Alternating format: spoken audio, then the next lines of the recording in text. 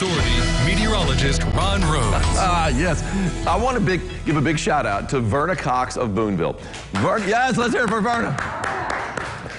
A few years ago, Clark bars, they stopped making Clark bars and Butterfinger bars. Why? I don't know. Clark was always my favorite bar. She says, I make Clark bars, homemade Clark bars. She brought them by the station, her husband did, Tom, and I thought, okay, I tried it. It was. It was like the old Clark bar. Then Clark started making the Clark bars again. Well, it wasn't Clark, it was the Mallow Company, and they didn't get the recipe right. Because the Clark bar that's out there right now doesn't taste like the old Clark bar. You know what does? Verna Cox's Clark bars. She said, Ron, I will give you some. I saw her at the Fall Festival with Angie. She said, I will bring some in for Christmas. True to her word. She brought some in yesterday. There was one, there was one Clark bar left. Got a little bit of fudge left too, but he had a big old platter of all these confections. And we had toffee in there. We had uh, turtles in there too. Those are gone. Numerous Clark bars.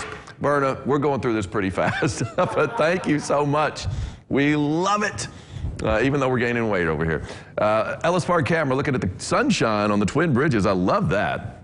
Only one lonely little cloud out there. Look at it, man. About the only cloud of significance is this dude right here.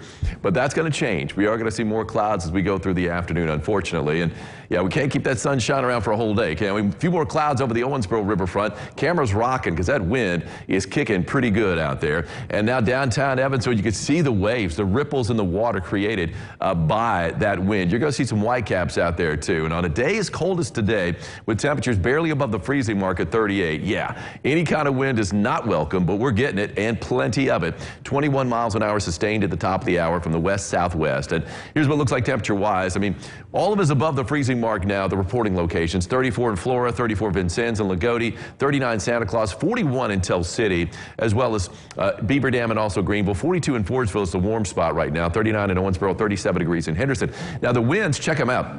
They've really ramped up. And for the most part, they're in that 10 to 20 mile per hour range. But we've got 22 Henderson, 21 Owensboro, 21 in Evansville. Feels like temperatures, even though all of us, all of the reporting locations are above freezing temperature wise, it doesn't feel like that. 28 is what it feels like in Evansville. 26 Henderson, 29 Owensboro, 27 in Jasper. Still feels like 23 degrees right now in Flora.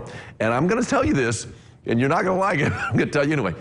If you saw numbers like this on Christmas Day, you would be happy compared to what we're actually going to see. On Christmas Day, although it looks like we could see some snow on Christmas Eve and Christmas Day, one model is showing a decent little snow, about two to three inches worth, but highs are going to be, it looks like, in single digits, wind chills below zero, not below freezing, below zero. So this is going to look balmy compared to what we're going to have late next week. All right. Oh, I did that. I did that too early. oh, man. Uh, I'll show that later. I'll try to see if I can show that later on. Uh, live first warning Doppler radar. We'll go back if we have to. Uh, showing absolutely nothing. I want Angie to see that. Anyway, you can see the clouds up to the north, and the clouds are wrapping around this area of low pressure to our north, and they're going to swing in and bring us more and more cloud cover as we go through the afternoon. And that low pressure really not moving much up there in the Great Lakes. Plenty of snow continues to wind its way uh, through the Great Lakes, but very slowly. Anyway, clouds starting to push in from the northwest. Our future tracker indicates that. Could see a few flurries, maybe even a few sprinkles out there, but I think mainly just some flurries late in the afternoon. Although if you're going to the Santa stroll, you might like to see a few flakes flying on by, even though it will be a cold night, no doubt about that. Wind's going to settle down some as we go into the evening, so it's not going to be quite as windy as what we've got right now. Clouds break up a little bit. We are going to see just a little bit of sunshine to start our Saturday, uh, but then we're going to be seeing plenty of clouds by mid-morning and throughout the rest of the day. Sunday will be sunnier. High today, 41 degrees. Sunshine giving way to clouds, though, this afternoon basically from north to south. And yeah, we got a few flurries out there. South southwest wind. Uh, 10 to 20 miles an hour, so definitely adding a big chill out there. On the three degree guarantee, called for a high yesterday of 44, daytime high, and the actual daytime high, 43 degrees. Connie Burkhardt of Evansville. Let's hear it for Connie.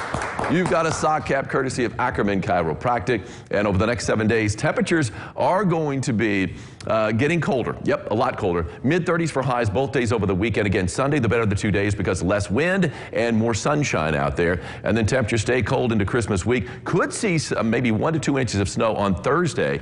Just a heads up there. So, and then of course later on that week, it's got Christmas weekend and it is going to be bitter cold. I'm going back to the image. There it is. What You've heard of a world? gingerbread house. How about just a bread house? Uh, this is like a food house right here. Look, you got an actual blackberry bush right there. I think these are Vienna sausages for the logs out front. Oh, my You got graham cracker doors right there. You've got bread. Looks like raisin bread right there for windows. Looks like pepperoni, but some sh- maybe sugar coated pepperoni Uh, for that- shingles.